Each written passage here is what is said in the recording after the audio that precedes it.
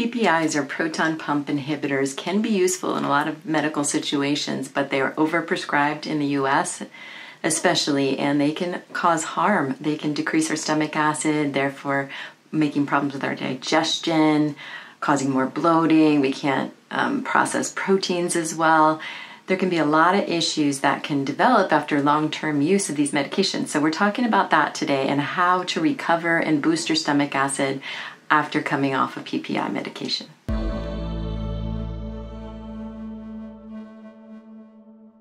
I'm Dr. Shelley Meyer, and welcome to my channel. I'm a functional medicine doctor, family doctor, and registered dietitian.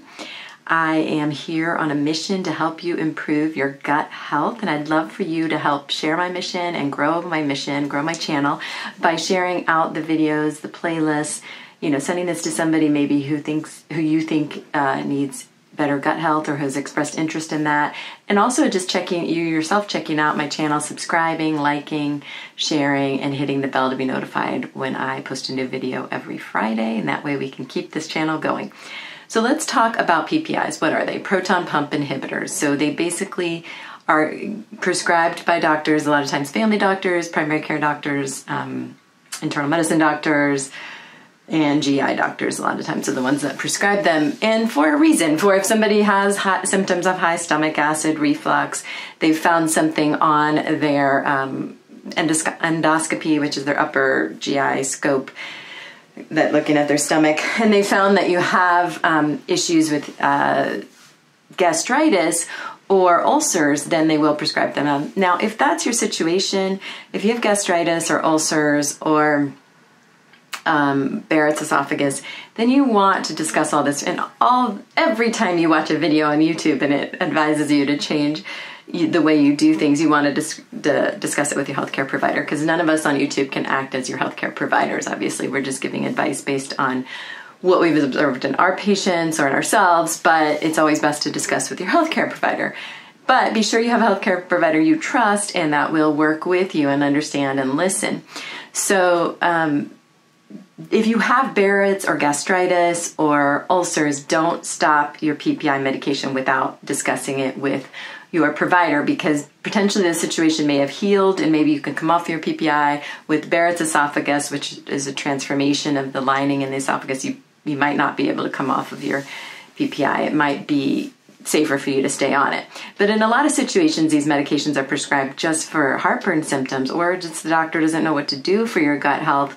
Could be maybe IBS, it could be SIBO, it could be dysbiosis, but they're prescribing the um, PPI just to make your symptoms better. And it's all out of good intentions, but these medications aren't really made to be long-term medications unless those you have those other situations like I talked about where they can be life-saving in some situations. So if you're in the camp where they have prescribed it for just discomfort and reflux and heartburn, you probably don't need to be on it as long as you may have been. It's short term, couple months maybe or less, six weeks is okay, but coming off of it after that period of time can be very difficult. You can have reflux, heartburn, reflux, um, I mean, reflex, heartburn, reflex, reflux, and that can make your symptoms reappear. So it makes you feel like you need the medicine, but there are ways to come off of it. So what we're focusing on today is how to replay or how to repair your stomach acid after PPIs. I do have some videos on um, different ways to repair your gut, and and there's a lot of videos on that. So please check those out. But there are some ways that you can improve your stomach acid after coming off of PPI. So if you've done the major big step of coming off of PPI and now need to figure out what to do next, one thing to look at is do you actually have high stomach acid?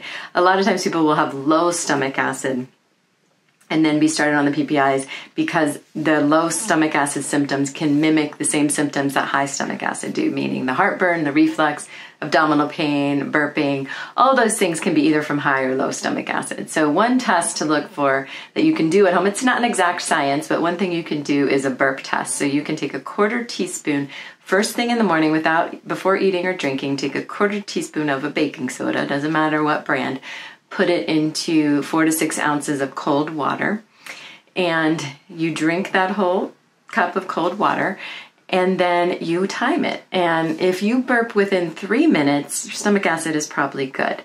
If you don't burp within like if you burp between three and five minutes, then you might have a little bit of low stomach acid. If it takes you beyond five minutes and you don't burp, you probably have low stomach acid. So, some ways to replace that we will talk about in a minute here.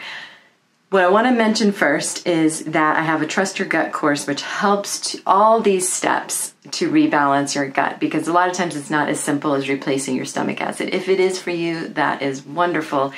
And I hope it's that simple for you that your gut feels better after replacing your stomach acid if you in fact have low stomach acid. But if that doesn't do the trick for you, that this is a way to work with my team and myself through weekly coaching calls, through our private network on Mighty Networks called Trust Your Gut, and through the whole course where we lead you through all the science behind it, all the physiology, but also the transformation of taking you from an unhealthy gut to a healthy gut where you feel comfortable, you can trust your gut again, you have normal. You don't have pain, you digest well, you have normal bowel movements, you have energy, your skin looks good. All those things that can relate to gut. So check that out in the link down below and book a call to talk with our team to about what this course is and what this program is and what this lifetime membership is. And that's what every membership into trust your gut includes a lifetime membership for the, the lifetime of the course. So back to stomach acid. Um, so if you find you have low stomach acid then some things you can do at home. You can take some apple cider vinegar. Never drink apple cider vinegar on its own. You always need to dilute it. So a couple, um, like tablespoon of apple cider vinegar and uh, four to six ounces of water is diluted, and you can, uh, or a couple teaspoons, and you can drink that in the morning, first thing in the morning, and that can help. You can drink ginger tea, put ginger in your food, take ginger capsules, that can help as well. You can um, take Swedish bitters. Those can help replace your stomach acid. I would take those with every meal. And then another thing I, I recommend if somebody's really in a bad state with their stomach acid is going to the next step of testing and getting a supplement called betaine HCl and trying to see how low your stomach acid actually is. Never use betaine HCl or any of these other things if you do have Barrett's esophagus, gastritis, or stomach ulcers, because it can trigger those symptoms and make that acid worse. But if it's for simple reasons that you are on a PPI, like um, heartburn, abdominal pain, IBS kind of symptoms, then you are safe to try this test. So the next step of test would be, you know, using the betaine HCl, and that is a supplement that usually comes in 300 to 500 milligrams. Typically not vegetarian, so if you're vegetarian, you probably don't want to do this test this way, and you can use the bitters instead. But you can take one capsule with every protein containing meal, and I have a PDF down below, so you don't have to write any of this down one capsule with every protein containing meal. Then the next day you take it up to two capsules with every protein containing meal following daily until you reach five with every protein containing meal. I'm not recommending you take five with every meal for the rest of your life. This is just a test.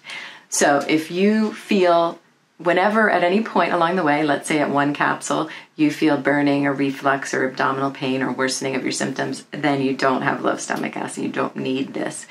If you feel it at two, then you go back to one. If you feel it at three, then you go back to two. All in the PDF, but that's another more advanced way to test your stomach acid.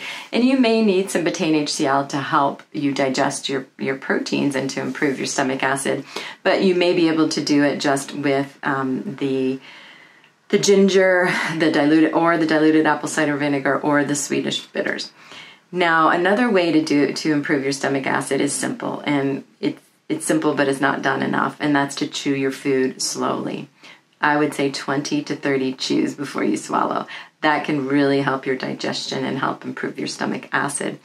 Another way is to not eat processed foods. Now, that's going to help your gut in general. So, generally, looking at a label, does it have five ingredients or more?